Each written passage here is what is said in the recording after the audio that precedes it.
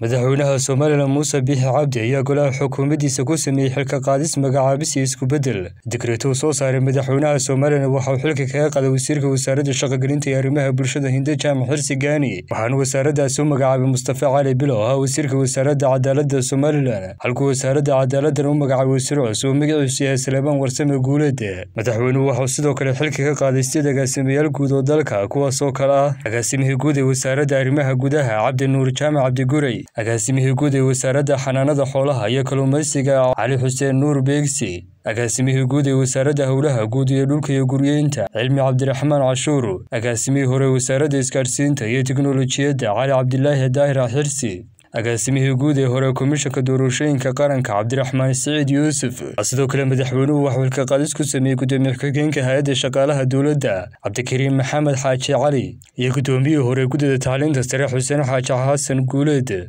geesta kale madaxweynuhu waxa uu sameeyey magacaabis iyo isku-beddel qaar ka mid a agaasimayaasha guud ee wasaaradaha waxaana ka mid ah siciid axmed jibriil agaasimaha guud ee wasaaradda arrimaha gudaha axmed cali maax warsame agaasimaha guud ee wasaaradda xanaanada xoolaha iyo horumarinta kalluumaysiga jamaal cabdi muuse diiriya agaasimaha guud ee wasaaradda howlaha guud iyo dhulka iyo guryeynta rooble cabdi muuse maxamed agaasimaha guud ee wasaaradda beeraha iyo horumarinta adeeq cabdi yuusuf dhiidar agaasimaha guud ee wasaaradda xiriirka iyo golayaasha arrimaha dastuurka sideed farxiye maxamed cabdiraxmaan daahir agaasimaha guud ee wasaaradda horumarinta maalgashiga maxamed yuusuf ismaaciil agaasimaha guud ee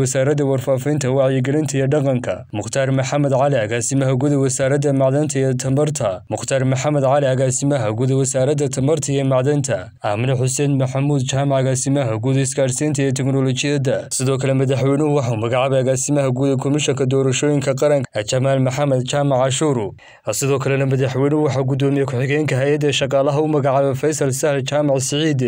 dhanka kale madaxweynuhu waxuu aasaasay islamarkaana gudyada maamul u magacaabay. Macadka cilmibaarista beeraha diiwaanka sekada iyo tacliinta sare waxaanuu magacaabay gudiyada hay'adda shaqaalaha dowladda